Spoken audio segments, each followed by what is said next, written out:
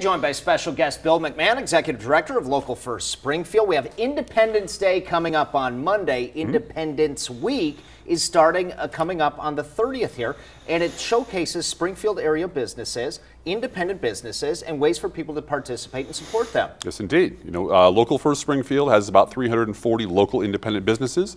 On uh, the 30th, uh, out at beautiful Rolling Meadows Brewery, we're having our kickoff party. The public is invited.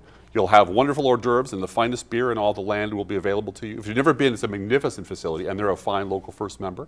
And then we're going to be doing a couple of days out the downtown farmers market. Right. Uh, we have our tent out there. We don't sell anything. We, we are going to be giving away some of our members tchotchkes and keychains and pens and things. But mostly it's just, just to support local independent businesses and to explain to people who are already pre-selected to want to shop local, who are going to be down there, the importance of shopping local, keeping that money in the local economy, and how vital it is to keep the prosperity of our local economy growing through supporting local independent businesses. Also supporting local workforce as well, which is Absolutely. a key part. 340 businesses, multiply that by at least five employees perhaps at the yep. low end and all the way up uh, to, uh, my Hundreds. gosh, we have some huge ones. Yeah, we do, so yeah. That's fantastic way, that chain of reaction as, as we uh, talk about here. Now, when you say you're not selling anything, that does not undercut how important this is because as you mentioned, it's not just a marketing tool here for businesses, it's cultivating those relationships. How many of these uh, organizations are interconnected with each other?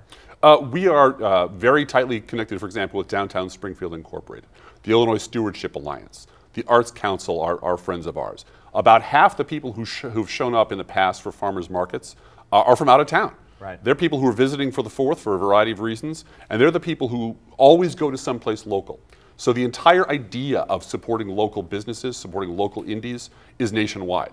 And so we have this interconnectedness of, of local business uh, affiliations. I'm a member of MacArthur Boulevard Association. Right. And you see a lot of the same people at a lot of the same meetings. They're deeply involved in their community, they're passionate about prosperity, and they support local businesses. Great chance for them to get started again mm -hmm. on the 30th at Rolling Meadows Brewery. Time right there from 5 to 7. As you say, the finest beer in all the land. Great all the land. to try it out. Bill, thanks so much, and best of luck this week. A pleasure.